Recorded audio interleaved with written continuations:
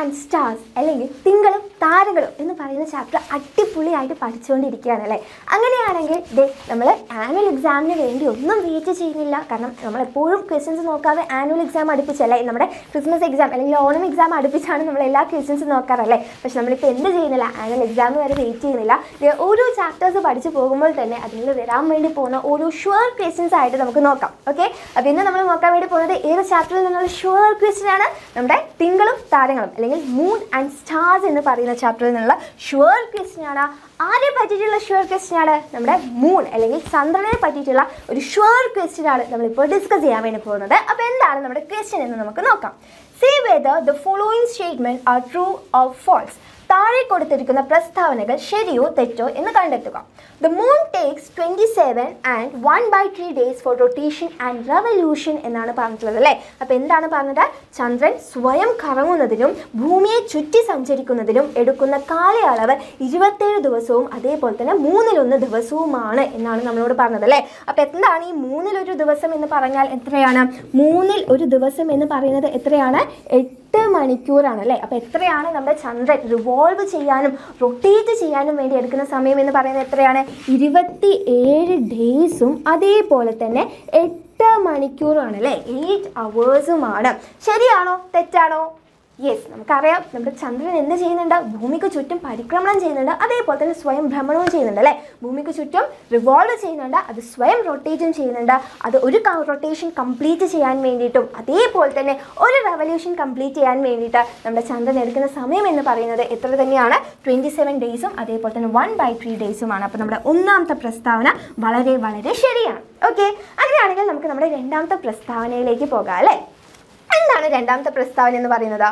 Only one side of the moon always faces the earth ചന്ദ്രന്റെ ഒരു മുഖം മാത്രമാണ് എപ്പോഴും ഭൂമിക്ക് അഭിമുഖമായി വരുന്നത് എന്നാണ് നമ്മളോട് പറഞ്ഞത് അല്ലേ? അങ്ങനെയാണോ?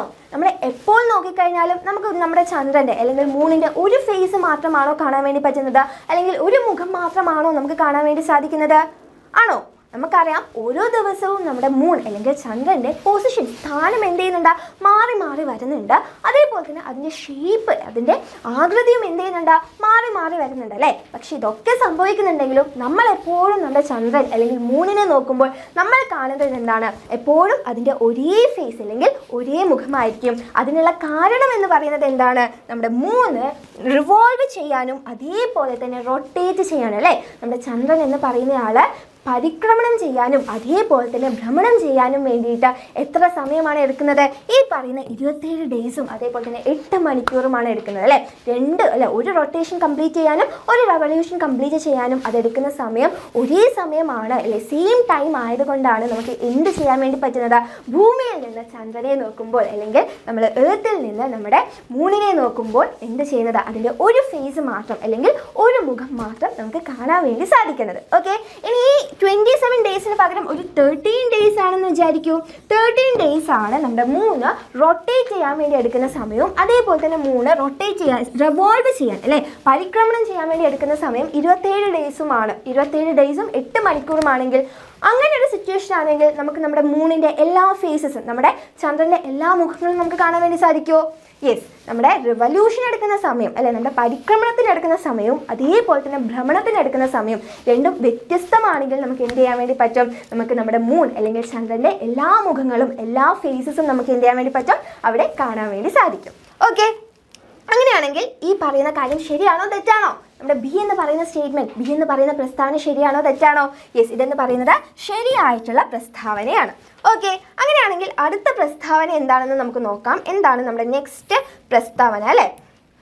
Every day the moon rise every day the moon rise at the same time അല്ലേ? ചന്ദ്രൻ എല്ലാ ദിവസവും ഒരേ സമയമാണ് ഉദിക്കുന്നത്. ശരിയാണോ? ചന്ദ്രൻ എല്ലാ ദിവസവും ഒരേ സമയമാണോ ഉദിക്കുന്നത്. അല്ല അല്ലെ? ചന്ദ്രൻ എല്ലാ ദിവസവും ഒരേ സമയമല്ല ഉദിക്കുന്നത്. അപ്പോൾ നമ്മുടെ സി ഓപ്ഷൻ എന്ന് പറയുന്നത് എന്താണ്? തെറ്റായിട്ടുള്ള ഒരു പ്രസ്താവനയാണ്. ഓക്കെ അടുത്തത് എന്താണ്? On a new moon day the moon rise and sets along with the sun okay എന്താണ് പറയുന്നത്? അമാവാസി ചന്ദ്രൻ സൂര്യോദയത്തോടൊപ്പം ഉദിക്കുകയും സൂര്യാസ്തമയത്തോടൊപ്പം അസ്തമിക്കുകയും ചെയ്യുന്നു. ശരിയായിട്ടുള്ള പ്രസ്താവനയാണോ? യെസ് അതെന്ന് പറയുന്നത് എന്താണ്? ശരിയായിട്ടുള്ള പ്രസ്താവനയാണ്. ഓക്കെ അങ്ങനെയാണെങ്കിൽ ലാസ്റ്റ് ആൻഡ് ഫൈനൽ ആയിട്ട് ഒരു സ്റ്റേറ്റ്മെന്റ് കൂടി നമുക്കുണ്ട് അല്ലേ? എന്താണ് ആ statement moon the satellite of earth doesn't revolve around the sun അല്ലേ? എന്താണ് പറയുന്നത്? ഭൂമിയുടെ ഉപഗ്രഹമായ ചന്ദ്രൻ സൂര്യനെ ചുറ്റി സഞ്ചരിക്കുന്നില്ല എന്നാണ് പറഞ്ഞത്. സൂര്യനെ ചുറ്റി സഞ്ചരിക്കുന്നില്ലേ? ഉണ്ടോ യെസ് അപ്പോൾ അതെന്ന് പറയുന്നത് എന്താണ്? നമ്മുടെ മൂൺ എന്ന് പറയുന്നത് സൂര്യനെയും ചുറ്റി സഞ്ചരിക്കുന്നുണ്ട്. അപ്പോൾ ഇതേ നമ്മുടെ ഈ ഓപ്ഷൻ എന്ന് പറയുന്നത് എന്താണ്? തെറ്റായിട്ടുള്ള പ്രസ്താവനയാണ് അല്ലേ? അപ്പോൾ ഇതേ നമ്മുടെ ചന്ദ്രനെ പറ്റിയിട്ടുള്ള കുറച്ച് ഇൻഫർമേഷൻസ് ആണ് ഈ ഒരു ഷുവർ ക്വസ്റ്റ്യനിലൂടെ നമ്മൾ പഠിച്ചിട്ടുള്ളത്. അപ്പോൾ എന്ത് ചെയ്യുക ഈ ഒരു ക്വസ്റ്റ്യൻ മക്കളെല്ലാവരും ഒന്ന് പഠിച്ചു വയ്ക്കും താങ്ക്